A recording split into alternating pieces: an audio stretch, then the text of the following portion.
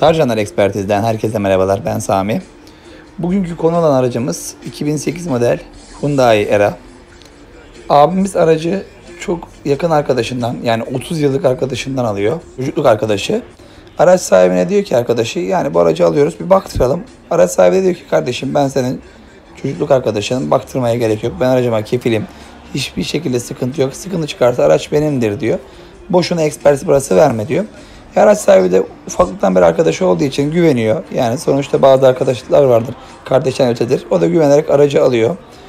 Araçta değişen yok diyor. Birkaç parça boya var diyor. Araca ne olmuş biliyor musunuz abiler? Aracın arkası gri, ön tarafı siyah bir araçta eklenmiş. Yani aracımız 2 artı 1. Aracın arka bagajına baktığımızda bakın gri bir boya çıkıyor. Fabrikata atılan astar değil bu. Yani eklenen arabanın astarı gri. Koltuğun altına bakacağız birazdan. Bagajın içi gördüğünüz gibi komple gri. Üstüne siyah boya atmışlar. Bagajımız çıkma gri takılmış. Yani aynı eklenen arkanın parçası. Fitili söktüğümüzde çamurluğu buradan keserek kaynatmışlar.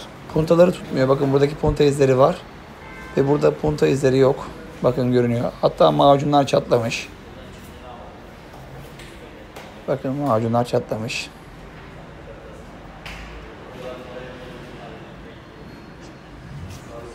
Görünüyor. Lastiği söktüğümüzde ek yerine macun çekip boyamışlar. Kaynak izleri ve macun gözükmekte. Hatta buraya boya bile atmamışlar. Koltuğu söktüğümüzde koltuğun altından deponun altına doğru birleştirmişler aracı. Ön tarafı siyah, kendi orijinal rengi. Arka tarafı biraz koyu renkli bir gri araçtan eklemişler. Değerli abiler, firmamızda bütün araçlar bu şekilde bakılmakta. Önce ön izlenimler yapılıyor. Eğer şüphelenmeye başladıysak sökmeye başlıyoruz. Marş piyedi kesmişler. Ek yerini buradan kaynatmışlar. Buradaki pontalar yok. Sol arka çamurluğa baktığımızda puntaların bir bölümü yok. Bu bölgede punta yok görüyorsunuz. Usta resmen macunu sıvamış. Resmen macundan kalıp yapmış. Kalekim çekmiş kendisi. Aşağı doğru indiğimizde bakın gri renk daha çok belirli olmakta. Gri ve siyah.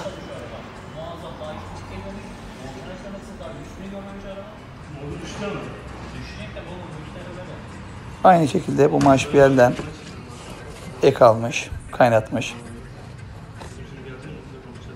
Gri boya gözükmekte. Yapılan işçilik çok kötü değil, çok da iyi de değil. Orta halli bir işçilik.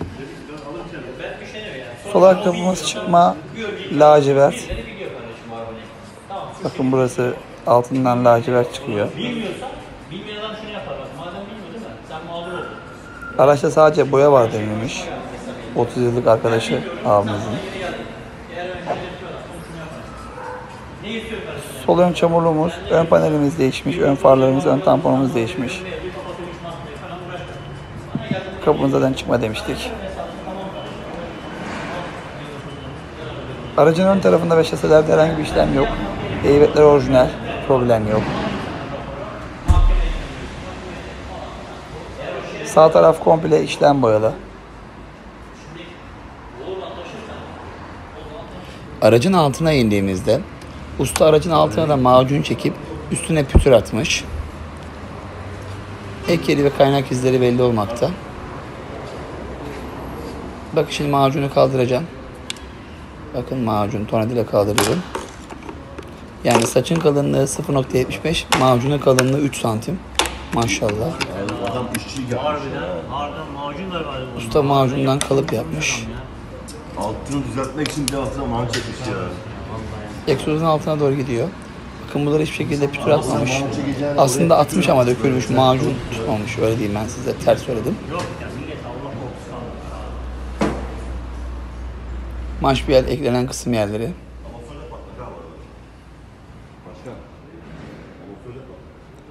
Biraz daha işi de güzel yapsaymış daha da güzel olacakmış.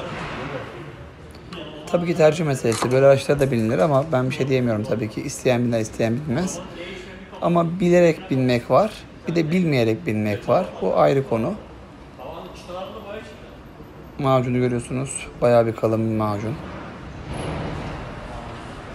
Ek yerini yaklaştırıyorum.